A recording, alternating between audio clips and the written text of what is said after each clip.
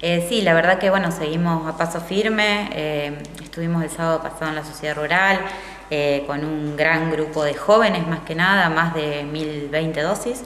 Así que la verdad que muy contenta, desde el SAMCO obviamente colaborando con toda la subregión para, para poder llevar adelante la campaña porque se necesita personal entrenado para ello y bueno, allí estuvimos. En esa oportunidad se colocó vacuna AstraZeneca, que bueno, por ahí es eh, la más temida o la que más memes hay, eh, donde bueno, son muy, por ahí, mucha la gente que, que hace sintomatología secundaria a la aplicación de la dosis. lo que más estuvimos viendo fue dentro de las 48 horas, y esto es lo que se le dice a todas las personas que se van a vacunar, es normal o es frecuente poder tener los síntomas de la vacunación desde dolores de cabeza, fiebre alta, sensación de chuchos de frío, febrícula, ¿sí? Eh, dolor muscular, dolor en las articulaciones, vómitos. Y estos síntomas pueden persistir durante 48 horas. ¿sí? Es por eso que lo que le pedimos es que no se asusten si esto aparece, pero que tampoco se preocupen si no pasa nada depende la recepción del cuerpo, depende las características del organismo, depende de muchas cosas que estos síntomas se presenten o que no se presenten. Lo que sí tiene que quedar claro es que esto es transitorio.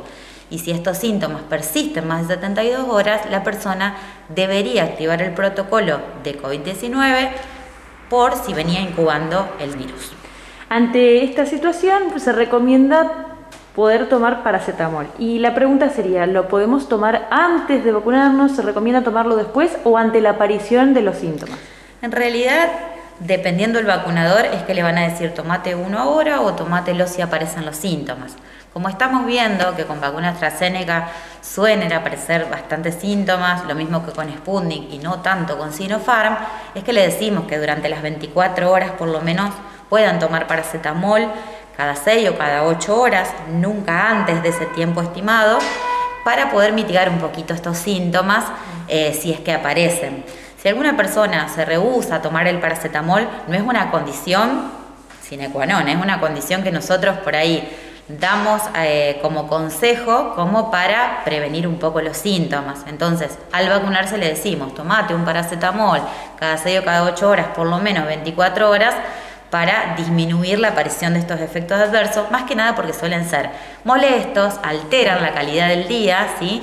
y eh, obviamente en algunos casos los tiran bastante abajo, sobre todo en personas que no pueden faltar a trabajar o en personas que tienen que hacer actividades de la vida diaria o que tienen niños y demás, que, los cuales se tienen que dedicar. Entonces por eso es que le decimos que pueden recurrir al paracetamol, no es una condición obligatoria, pero se la damos como medida preventiva. Otra recomendación que suele darse posterior a la vacunación y genera tal vez eh, opiniones encontradas es no actividad física y no ingesta de alcohol. ¿Esto a qué se debe y por qué es tan importante también cumplir con estas recomendaciones? Mira, fueron las dos preguntas más hechas, por lo menos en mi, en mi isla de vacunación, el tema del alcohol y de la actividad física.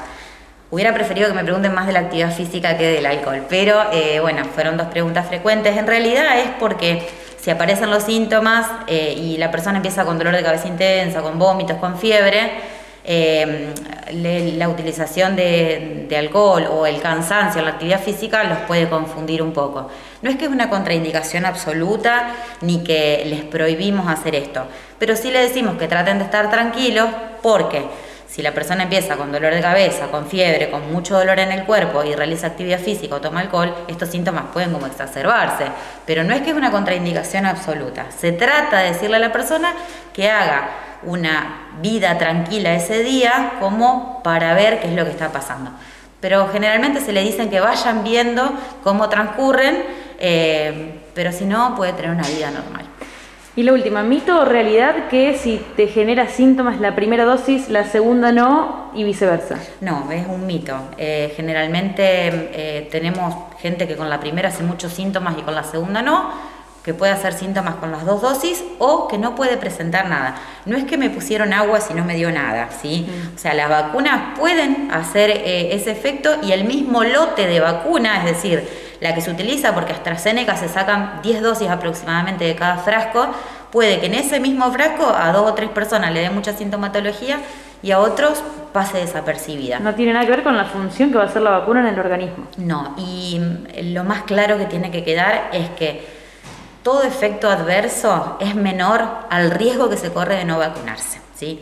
El mensaje claro que quiero dejar dentro del plantel médico de, de la región y como médica de guardia del hospital es que las personas que se derivan generalmente no tienen esquema de vacuna o tienen esquema incompleto. Entonces sería muy importante tratar de que en estos meses tengamos la mayor cantidad de población vacunada y con dos dosis, que es a lo que se está apuntando ahora en, en agosto.